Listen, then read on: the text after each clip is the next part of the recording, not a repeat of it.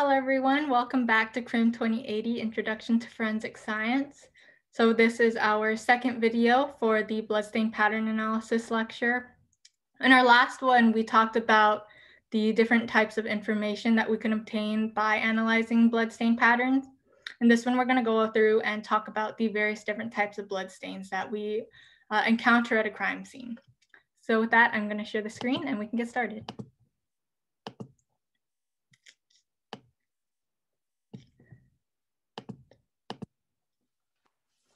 We go. So just as a forewarning, some of these slides are going to have graphic images that are meant to illustrate the different types of blood stain patterns that we commonly see at a crime scene. So just be warned. So here we are, we have, uh, we're gonna talk about three different types of blood stains. So we have spatter patterns, transfer patterns, and passive bloodstains. So starting off with spatter, these are the ones that uh, we focused on in our last lecture. So all that information, the angle of impact, the directionality, uh, area of origin, those things are probably going to be coming from this type of bloodstain pattern, uh, a blood spatter. So there are going to be four main types that we're going to talk about. Impact spatter, cast off spatter, arterial spray, and expirated spatter. So starting with impact spatter, this is a blood stain pattern that's produced when an object makes forceful contact with a source of blood. So this is um, impacting uh, an individual with uh, some weapon that draws blood or hitting a surface that has blood on it that makes it spatter everywhere that's impact spatter. You're using some force to uh, spread the blood out. So there's going to be two types of spatter that we talk about, forward spatter and back spatter. So forward spatter is a spatter that's going to travel in the same direction as the force. So if I had, say, blood on my hand and I went like this, any blood that flies forward is going to be forward spatter. If when I go like this, it spatters back towards me, that's back spatter. Blood that's going to travel towards the source of the force.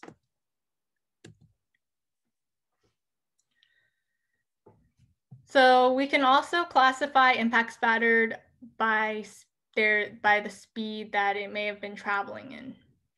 So we have low velocity. These are going to be more uh, large drops, around four millimeters or more in diameter. And they're going to be produced by a force of up to five feet per second. Usually these are going to be a result of gravity or minimal force or splashing from a blood pool. There's going to also be medium velocity. So these are going to be smaller drops around one to four millimeters in diameter, and they're produced by a force of five to 25 feet per second. Usually these are going to be more associated with blunt force trauma. Unless we have high velocity, these are going to be very fine droplets, less than one millimeter in diameter, and they're going to be produced by a force of 100 feet per second or faster. And these are usually going to be associated with our gunshot wounds.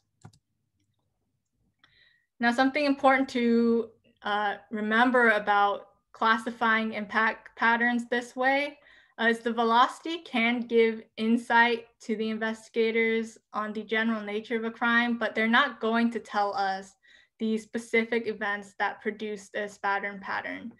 So these are just like an estimate or guess as to what have may have occurred, but just classifying them in this way isn't going to give us these uh, specific events, and they're not going to be entirely accurate. A lot of other things can produce uh, patterns that are going to look like high velocity blood spatter, but they may not be high velocity blood spatter. So we have to keep these things, these things in mind while we're testifying and while we're doing these analyses. So we want to use these classifications cautiously and for descriptive purposes only. They're not conclusive. So this is an example of a low velocity spatter. It's just dripping due to the force of gravity. Uh, very big, a uh, lot bigger droplets. Uh, you can see if we have this pool, right? If they're falling into a pool, we're gonna have these satellite spatters uh, that make smaller stains as well. Medium velocity spatter, these are spatters that are associated with blunt force trauma. So as you can see, they're smaller in size, uh, still uh, generally pretty large uh, relative to the next uh, category. We're going to go into high velocity. Uh, but you can still see they're a lot smaller than the low velocity ones. Lastly, we have high velocity, again, associated with typically with gunshot wounds. So you have this fine spray of blood spatter all around, very small stains. And that brings us into gunshot spatter. So this is going to be a subclass of impact spatter, typically characterized by that very fine spatter that is going to come from both the entry and exit wound. So remember we talked about forward and back spatter, and this gives us a good example of that. So when the bullet is going to enter from, say, an individual, there's going to be, and it enters and exits, there's going to be forward spatter from the exit wound. Blood's going to come out from there. And blood is also going to come back out through the entrance wound. That's going to be the back spatter. Now, if there's no exit wound, say the bullet doesn't perforate through the individual, it stays with inside them, uh, we're not going to see this forward spatter. All we're going to have is back spatter. Moving on, we have cast off spatter. So this is a bloodstain pattern that's created when blood is flung from a blood-bearing object. So if this individual is attacking or assaulting someone with a bat and their bat gets blood on it while they're uh, committing this crime and they swing it up, blood that flings off of the bat, say onto the ceiling or onto a wall, that's cast off spatter. So this is typically um, seen as a linear string of stains that progress from circular to more elliptical in shape. And there's also going to be this increasing distance between the stains as we get further along in our cast off stain.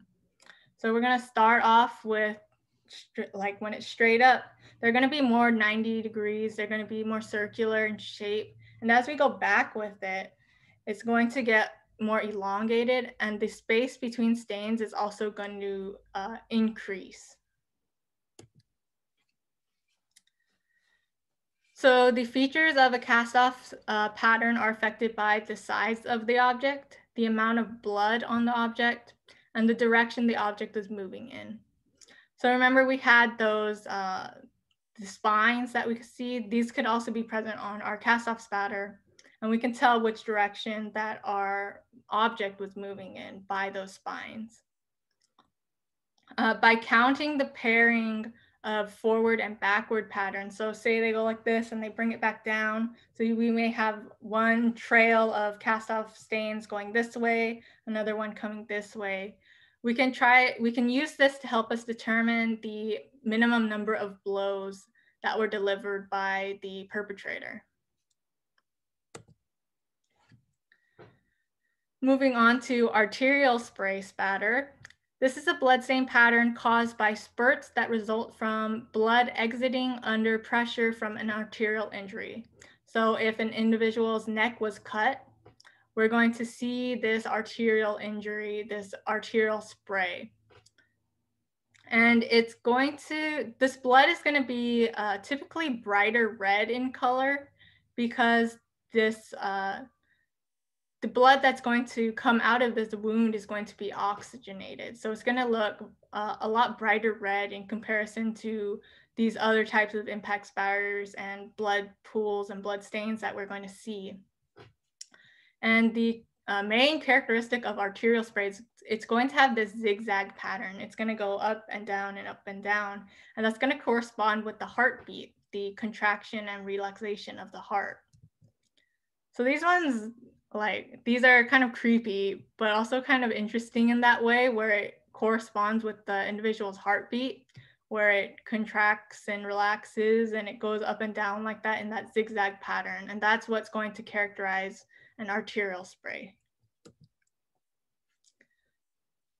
Lastly, we have expirated blood patterns.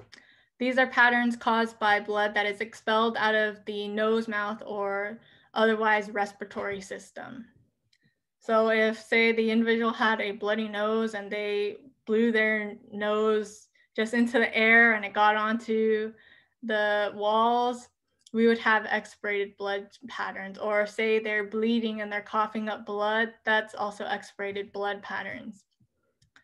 So these can sometimes look like high velocity impact stains. So we want to keep this in mind again when we're classifying these stains using velocity, that they could be mistaken for stains that maybe aren't from, say, a gunshot wound, but it could be expirated blood instead. The difference that um, would make it more uh, easily differentiated from a high velocity pattern is that expirated blood patterns can have a lighter color, and this is due to the presence of saliva. So our saliva is then going to dilute our blood and it's going to give it a lighter color. There also may be oxygen bubbles trapped inside this uh, dried stain. So remember, this is coming from our respiratory system, uh, things where we breathe in oxygen. So when we expel this blood, uh, when it's expirated, we may have oxygen bubbles trapped in it. And when it dries, we can see those oxygen bubbles. And that's going to indicate that we have an expirated blood pattern. So that's what we have here. So we have, see these uh, oxygen bubbles that are kind of dried into and incorporated into the stain. Moving on to our next category, we have transfer stains. So while impact pa uh, patterns can give us a lot of information regarding the, uh, the events that occurred, we can also get information from other types of stains, uh, being transfer or passive stains. So we're gonna go over those two next. So transfer patterns are patterns that are created when a surface with blood comes into, a comes into contact with a second surface that is non-bloody. So there's three types of these transfer stains, wipe, swipe, and contact. So the first type of transfer stain we're gonna talk about is a wipe. This is a stain that's altered by an object moving through a pre-existing wet stain, and it's often characterized by a skeletonized stain. This is a, a ring with lighter marks around it, a darker ring with lighter marks around it. So this usually happens when the blood stain is already kind of drying. So the outside is going to dry faster than the inside of the stain, the interior of the stain. So when someone say, uh, say I had blood on my phone and it kind of dried a little, but then I tried to wipe it off, we might see this skeletonized stain here with me wiping through the middle of it. And that's going to give us this wipe. So remember, this is like someone wiping off blood, wiping off something off of a surface that has blood on it. So in this case, my hand would be the non-bloody surface and my phone would be the bloody surface. And this can give us information as to whether or not there was activity after the bloodletting event. Next, we have a swipe. So this is transfer of blood from a blood-bearing surface to a non-blood-bearing surface and indicates relative motion between these two surfaces. So in this case, say I had blood on my hand and then wipe my phone, which doesn't have blood on it, that's going to be a swipe. So it's kind of the opposite of a wipe. Uh, and this is going to be indicated by feathering. So feathering can help us determine the directionality that a swipe was made in. So feathering is when the stain gets lighter and it feathers as the pattern moves away from the initial contact point. So in this one, our initial contact point would be here. And as they move this way, the, uh, the stain is going to get less and less because they're gonna lose that blood as they wipe it across. So go ahead and pause your video again. try to determine if this is a swipe or wipe. Uh, so I'll let you pause and then when you're ready, you can unpause and we'll come back. So this is a wipe. Hopefully you paused and tried it out by yourself first, but this is a wipe. So we have these skeletonized stains here that we can see and that indicates that it's a wipe as opposed to a swipe. The last type of transfer stain that we're going to talk about is a contact stain. So this is transfer from a blood-bearing surface to a non-blood-bearing surface uh, in which there is no motion. So we don't have any motion. So this is a bloody shoe print, a bloody fingerprint, uh, a bloody pattern that's made on a surface without moving. That's important part in a contact stain. There's no movement involved. Lastly, we have passive blood stains. These are going to be blood stains that are created by the force of gravity. When we have three again, flow, pool, or uh, drop tails. And in these, we're gonna have a little more graphic pictures than the other ones. So keep that in mind as we go through these last few slides. So we have flows. So a flow is a bloodstain pattern formed by the movement of smaller large amounts of blood as a result of gravity.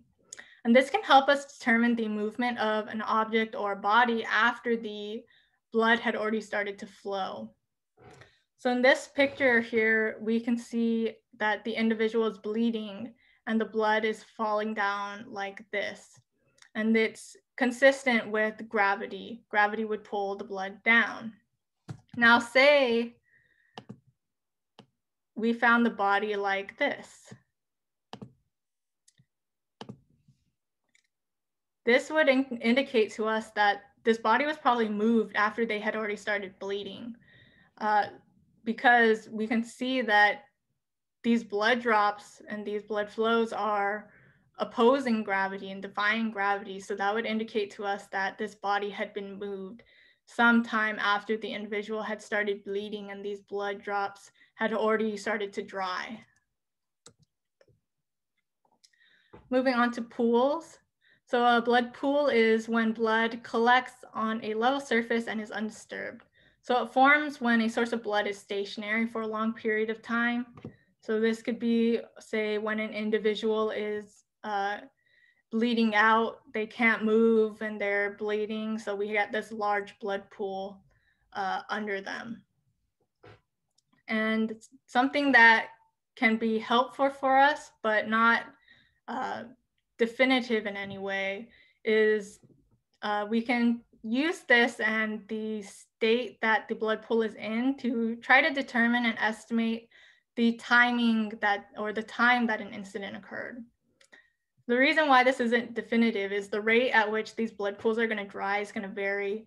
Obviously, the volume and amount of blood is going to affect how fast that uh, our stain dries, but it can be helpful in just giving a very rough estimate, a guesstimate as to what time this bloodletting incident had occurred.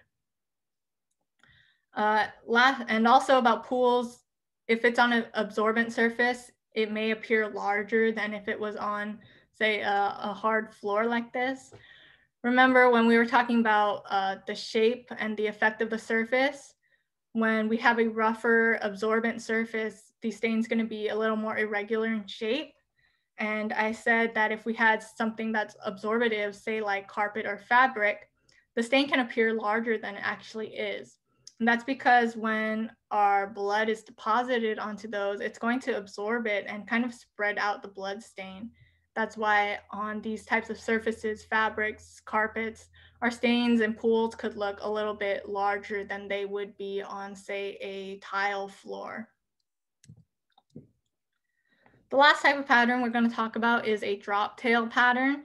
So this is a pattern of bloodstains formed by the dripping of blood off of a moving surface or person in a recognizable pathway separate from other patterns. So this is often seen in stabbings. So if the individual has, um, say, a knife and they're they just stab someone, they're walking away from the crime scene holding the knife, they may have the knife is going to drop bloods, uh, blood drops, and that's just going to be due to gravity, right? It's not going to be cast off or impact stains. It's just dripping off the knife due to gravity as the individual walks away. And this could be very helpful in crime scene reconstruction. It will show us movement or it could lead to the discarded weapon, or if say the suspect was bleeding or the perpetrator was bleeding and they were say they cut their hand during the stabbing and their hand is bleeding and dripping blood this would give us information on them if we run dna on it. So the last type kind of is its own category. Uh, I did include it in the passive one so it's going to be a void pattern. This is the absence of blood stains, and it's caused by the presence of an object blocking the blood at the time of the bloodletting event. So here we kind of have the outline of what looks like a person. So when this bloodletting event occurred, they were probably either sitting or lying down here when they were being attacked, or if another individual is being attacked and someone was laying here, that would be uh, what would have a blood, uh, a void pattern. We have something blocking the surface in which a blood is being deposited on. So this will give us information about the size, shape, and position of the items or the person during a bloodletting event, the object that is blocking the blood from the surface, and it can help establish the position of the victim or assailant at the time of the incident. So say, um, in this case, this is probably the victim, and we can get information about their body position. They're probably lying down. This can also go the other way. Say uh, we had a, a, a shooting occur, and the individual was shot, and when they shot them, the perpetrator was standing there and the backspatter kind of went on them and onto a wall behind them. Where their body was, it's going to block where that blood stain hit the wall and it's going to be deposited on them instead. So when they leave, we're going to have this void pattern on the wall of their body blocking that backspatter. All right, and with that, we are finished with bloodstain pattern analysis. In our next one, we're going to go into forensic biology and then get started on DNA. All right, I'll see you in the next one.